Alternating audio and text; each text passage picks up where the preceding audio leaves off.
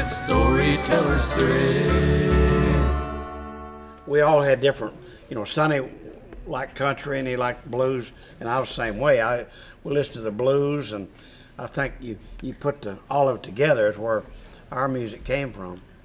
Well, what I want to know is the kind. Whenever y'all started out, rock and roll was in its infancy. Did y'all's parents think y'all were had lost your minds or something when you started playing that kind of music, or did they kind of go along with it, or did they think you were stepping out of bounds, or Mine didn't. My family supported me. in it. Yeah, mine did too. Of course, I, I spent a lot of time in that cotton patch, so I needed to do something different. Keep you out of cotton patch. huh? I picked enough cotton that I knew I didn't want to do it when I got grown. Let's put it that way. It's great for your career, you know. You didn't want to make a career out of picking cotton. No, no, no. I picked enough of it. I knew it, that I want to do better when I got grown. Absolutely. Yeah, I didn't want to go. ba- I didn't want to go back to college. It was either music or go to school. I didn't want to go to school. well, with the resistance in the early days of rock and roll, you know, and people not wanting to play it and stuff, and like I'm talking DJs and stuff. What made y'all decide to go that way with your music and rockabilly? And I mean, you're kind of going against the grain a little bit. Say something to it. Money. It. Well, that's true. Back during those days, you had a lot of different types of music that were coming together from different areas. You had, I was already doing the big band stuff, and then hit the nightclubs. And uh, when I got to the nightclubs, well, they were playing. It was there was mostly country bands playing the new rockabilly, and uh, what have you. And so uh, this was new for me uh, at that time, and that was back in the early '50s. Well, you guys like Joe Turner uh, uh, influenced Sonny and I. I remember that song, Honey Hush." We did. Yeah. We were doing that thing way back there in the '50s. A great tune. Still a good song today. Well, Sonny, this next question is for you. Uh, Frank Sinatra has a song called "I Did It My Way" or called "My Way." And uh, would you say that's the way you did your music? It, you did it the way Sonny Burgess wanted it done. Yeah, I think we did. Yeah. Uh, we just felt, you know, we played what it felt like. You know, if it felt good, no, we could keep going. If it didn't, well, we'd cut into something else. But uh, rhythm and blues are the black bands here. We're playing the great dance music. Country music was primarily singers, and if you were doing waltzes and square dances, and I did a lot of square dancing with my uncles. Go back and tell me a little bit about why, maybe, and, and when and why that did Sam Phillips change the name of your band? No, we did that. Oh, y'all did I that? I did Yeah, that. yeah, No. I did that. There's a story behind that. In uh, a company in England put out a bunch of vinyl albums when I went over in '84, and uh, they had the vinyl albums: the legendary Billy Lee Riley, the legendary Warren Smith, legendary Carl Perkins. So anyway, I get they gave me all those albums, and when we put the Pacers back together in '96. Well, I got to thinking, you know, that'd be a. At first, I thought about world famous. You remember we did that, Yeah. did some poetry Yeah. with that. Yeah. I said, no, legendary sounds better. But it's simply taken off of that records, those vinyl albums that Better put to- out in Europe. Better to say legendary than it does say old. You know, it's just the Pacers, you know. Yeah. I'm sure you've been asked a lot of times down through the years if you uh, ever played with Elvis, but my question to you is, did Elvis ever play with you? Yes, he did. Bob King, 1955 at Swifton, Arkansas. December. When we opened for him and Johnny Cash at Bob's, they played, uh, Cash and Elvis played the Swifton High School. And as they got through, Cash came down to, to Bob King's and we opened up. You know, we started things off there at Bob's. And when he got, we did an hour, then Cash shows up, does his show, by that time, Elvis has showed up, so Elvis does his show. Then we go back up and we start playing again. Cash told Bob Neal, and I was standing right beside Bob Neal when they told him, said, We're going to go back to Memphis. Said, These folks don't want to hear us. And which they didn't. It was simply one of those things that they simply wanted to hear Elvis. Anyway, we were rocking along pretty. We had a great group that night. We had me and Kern, Russ Smith, who later went with Jerry Lee Lewis, Had John Ray Hubbard, who just died, playing upright bass, and uh, Punky Caldwell from Searcy played sax. Yeah, played saxophone and clarinet. Clarinet was a little different back then too, and myself. And we were up there, and we were getting with it pretty good. So next thing I know, I felt two arms come around me. Scotty Moore's come back up on the stage, and we're both playing the same guitar.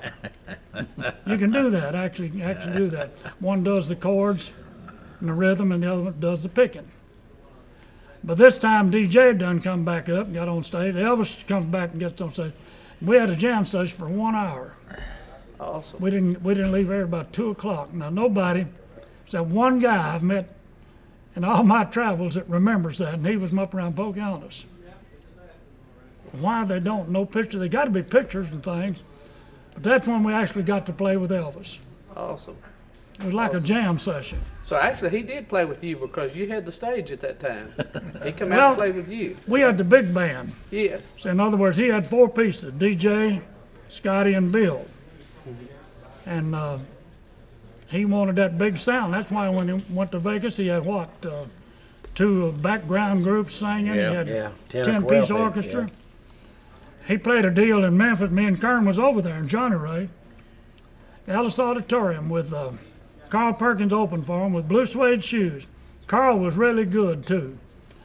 Then Elvis comes on and does his bit. Then they had uh, Carl Smith and Hank Thompson. They've got 10 piece Western swing bands. You talk about good. Oh, great. Elvis left that stage. He kicked that Martin guitar all the way across that stage. Said, "I'm never going on stage again with this smaller band." Well, he did not. I don't know, but anyway, he was he was hot because you couldn't get no sound in there. Yes. But Perkins did. For some reason or other, Perkins really sounded good. I never heard Carl Perkins not sound good. Oh, great. Well, that's true. I Carl's only job. problem was he kept trying to write his own songs. Carl, if he'd have went ahead with his material, you know, got somebody else to write him songs, like I did when I did um, a couple albums for Rounder and one for uh, High Tone Record. See, they go out and find these songwriters that write rockabilly or whatever you want to sing. They find these songs for you. That's what Carl should have done, and he had the, he had the means and everything. I don't know why he didn't. Just Well, tell me a little bit about how did you get uh, hooked up with Razorback Records and where did Short Squash that's, Texas that's come Bobby's from? deal. That's me. Uh, well, we put Razorback Records together because we didn't have a label at the time, and we wanted to put some stuff out. And uh, we started Razorback and, and recorded a bunch of people here in Arkansas on it that, that was wanting to put out records. The Texan, Short Squad Texan, come from. We had a, I had a good friend at, at KWAY, Pat Walsh, and I was sitting in Pat's office one day, and about two days before the Texas Arkansas game, and he said, "Boy, I wish we had a good song to be playing. Be a good time." I said, "Well, we can do one. I got an idea."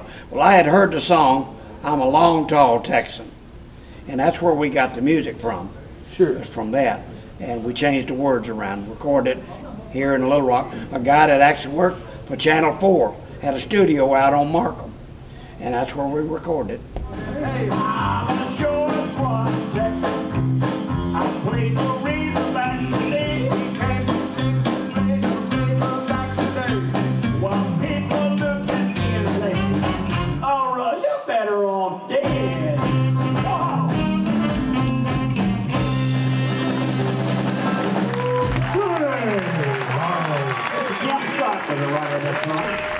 What would y'all say if you had, if you had to give some advice to some young upsprout coming up? What would you say would be uh, give him some advice as to how to stay in music? My advice was don't be like anybody else except yourself. If you try to be like like a lot of guys, like Jerry Lee and some of the other people, you always come out second. Always be yourself. Try to do your own stuff. I would say that basically in music, you have to be a good businessman. Talent's just one small facet of it. There's so many talented people out there that have never made it, that could, but you have to make a business out of it and treat it that way, and uh, you can last. These days, you have to pretty well, a lot of them stay current. One thing for sure, leave drugs alone. Yeah. No drugs. Business. I'll have to get, I'll have to agree with Kern on that thing. If you're gonna start out, if you got a young musician nowadays, find you something different. There you are. Don't, like Kern said, don't be somebody else because there's 40 million Jerry Lee Lewis's Yeah. and there's 40 million Elvises. Well, they say, what, ten thousand people in the United States making their living doing Elvis Presley. Know, Yeah. So it's simply, you gotta be different. That's how, that's how Sam Phillips signed people is. That's right. He had tons of people went through that studio. In fact, uh, Harold Jenkins went through there. He didn't release him because I got enough hiccupers. He had, uh, Marvel Phelps. Yeah. Right. an old Arkansas boy, you know, he went, he went over and cut some stuff. And Sam didn't release it. Now, it got released later on, this stuff did, in Europe. But that just, and Marvel later on, what, in seventy-six, was number one country artist in the world. Right. So I'd say they've got to have their own, Be yourself. You know, be, just- be something different, you know, have a little something, a little edge. You can't be Elvis, because he's already here and gone.